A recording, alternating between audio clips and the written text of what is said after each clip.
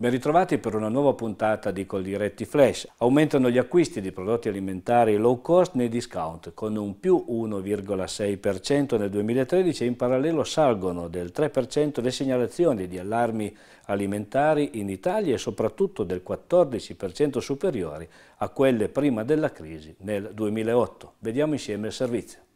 Cresce di anno in anno il numero delle notifiche nazionali al sistema di allerta comunitario per la prevenzione dei rischi alimentari e il quadro che emerge fa riflettere. I dati Istat relativi al commercio al dettaglio nel 2013 confermano il vero boom delle vendite nei discount, in netta controtendenza con l'andamento generale del commercio al dettaglio. La crisi porta a dire addio al negozio di fiducia e crescono le vendite dei prodotti low cost nei discount alimentari, con 6 famiglie italiane su 10 che hanno tagliato quantità e qualità degli alimenti, privilegiando nell'acquisto prodotti offerti spesso a prezzi troppo bassi per essere sinceri, che rischiano di avere un impatto sulla salute. Il consiglio al consumatore è quello di verificare sempre gli ingredienti e la provenienza in etichetta, preferire l'acquisto di prodotti freschi o comunque poco elaborati e che non devono aver subito lunghi trasporti, magari nei mercati degli agricoltori di campagna amica, diffidare dei prodotti che costano troppo poco come certi extravergini che non coprono neanche il costo della raccolta.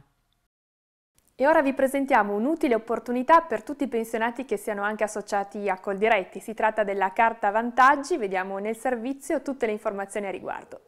L'iniziativa ideata dall'Associazione regionale Pensionati Piemonte in collaborazione con Coldiretti Pensionati Cuneo permette di avere accesso ad una serie di convenzioni stipulate a livello locale con diversi fornitori.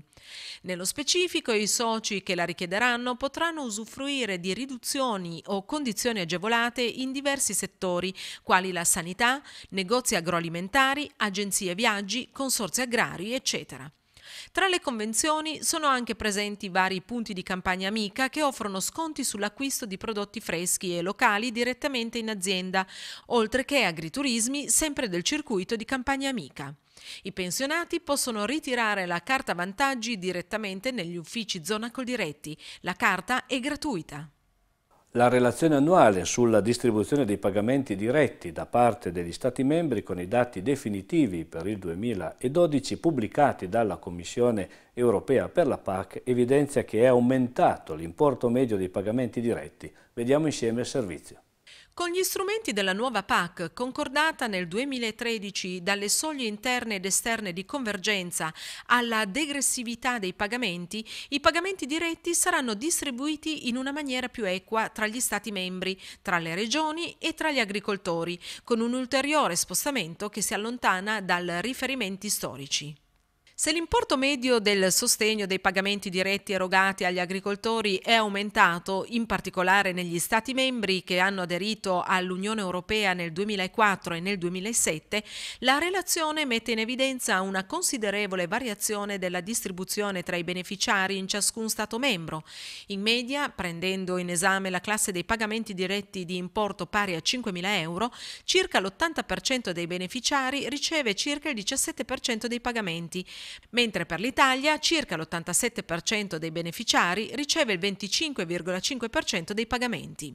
Quindi per importi sopra i 5.000 euro il 13% dei beneficiari riceve il 74,5% dei pagamenti.